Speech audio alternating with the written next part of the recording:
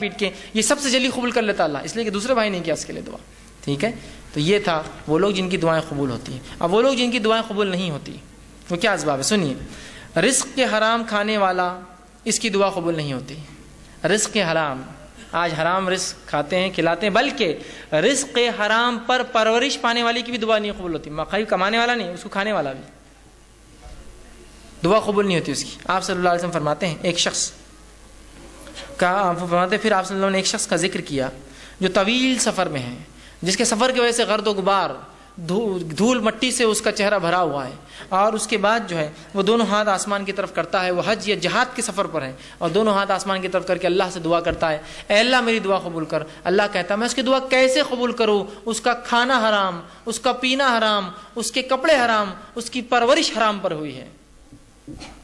हराम खाने वाला है, हराम कमाने वाले हराम पर परवरिश जिसकी भी अल्लाह दुआ नहीं खोद। इसलिए मैंने कहा था, औलाद की तरबियत में, उसके हक़ में, औलाद को हलाल माल खिलाइए, आप उसको हराम माल खिलाएँगे, उसकी तरबियत और उसकी दुआओं को आप बर्बाद कर रहे हैं बड़ी। हलाल माल की बड़ी अहमियत। कम कमाइए, मत कमाइए, लेकिन हलाल कमाइए जो भी हो। होता है ना मत से मुराद ये कि अब आदमी कुछ नहीं मिला बड़ा परेशान हाल है बहुत कम होता है। लेकिन हराम के उसमें मत जाइए रिश्वत खोरी सूद के ऊपर तजारतें इसी तरह लूट मार इसकी टोपी उसके सर डाल दी उधार पैसे लेके खा गए ऐसा लोगों ने ज़िंदगी गुजार ले रहे हैं। याद रखिए दुआएँ नहीं कबूल होती आपकी। अपनी मकफरत की दुआ कोई बंदा ना कर सके। वो रब जो हयादार है और सखी है अगर वही आपकी दुआएँ ना कबूल करे या ऐसा अमल जिससे आपकी वो, वो रबी दुआ कबूल ना करे इससे बुरी बात क्या हो सकती? हो सकती कोई बुरी बात इससे? तो हराम माल, पहली चीज़, सही मुस्लिम की रिवायत थी। दूसरा, जो गुनाह के लिए दुआ करेंगे और ख़ता रहमी के लिए इसकी दुआ कबूल नहीं होती। गुनाह के लिए आप दुआ करें, ख़ता रहमी, रिश्ता तोड़ने की इसकी दुआ कबूल नहीं होती, पहले वजाहत में कर चुका हूँ। इसी तरह, गफलत और लापरवाही से करने वाले की दुआ कबूल नहीं होती। दिल उसका दुआ में नहीं, इधर देख रहा है, उधर देख रहा है, उधर सोच रहा है, ऐसे शख्स की दुआ कबूल नहीं होती, पहले मैंने हदीस आपके सामने रख दी। इसी तरह, जानी की दुआ कबूल नहीं होती, याद रखी जो जिना करता है। जानी की दुआ कबूल और ज़बरदस्ती हाकिम अगर अपने महकूम से टैक्स वसूल कर, ज़बरदस्ती तो वैसे हाकिम की दुआ कबूल नहीं करता अल्लाह ताला।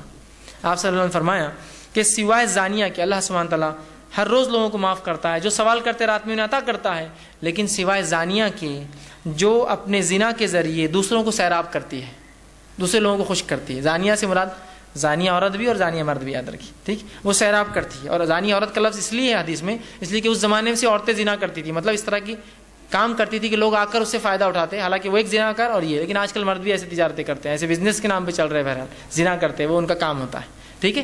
तो ऐसे शख्स की अल्लाह दुआ कबूल नहीं करता। और जिना को आज उम्मत मुस्लिमा ने आम समझ लिया है, मामूल समझ लिया है, फ़ैशन समझ लिया है, ज़िंदगी जीने का तरीका समझ लिया है और इसके लिए वो पूरी ज़िंदगी उसका वक्त और तोानाई लुटाता है। है नहीं? फ़ैशन समझ लोगों ने। इस शहर से उस शहर घूमने जाते तो जिना के लिए जाते हैं। बोलने की ज़रूरत नहीं मुझे। और मांगते हो फिर अल्लाह से मुसीबत में? कहाँ से अल्लाह मदद करेंगे तुम्हारी? कहाँ से मदद? हमने खुद रास्ते बंद किए दुआओं के। अल्लाह ने नहीं किया। अल्लाह देने बैठा ही याद याद रखिए। हर रोज़ बैठा है, हर घड़ी देना चाहता है।